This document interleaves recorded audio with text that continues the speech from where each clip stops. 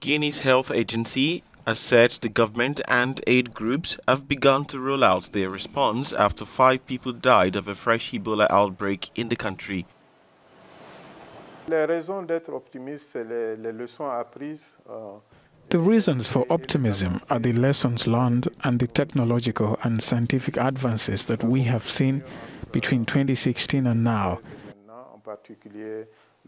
in particular vaccines, rapid detection tests that are easier to use in the field, therapeutic methods as well, means of protection such as centers that make it possible to treat patients without direct exposure of caregivers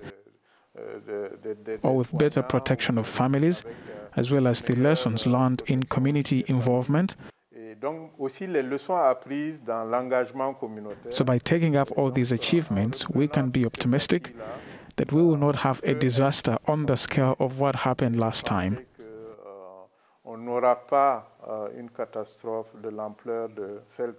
According to an epidemiological report by the country's health agency, two other people have tested positive, while another 10 are showing symptoms.